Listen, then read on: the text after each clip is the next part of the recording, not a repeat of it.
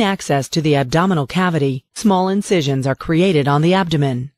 Trocars, which serve as passageways for the surgical instruments, are placed into the incisions. The surgeon examines the abdominal cavity using a laparoscope or video camera.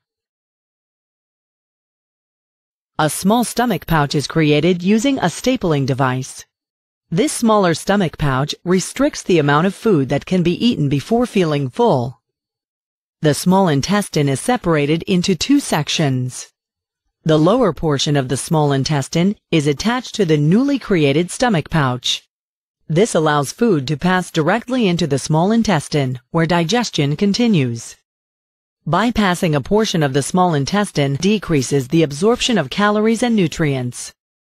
The upper portion of the small intestine is reconnected to the lower portion of the intestine.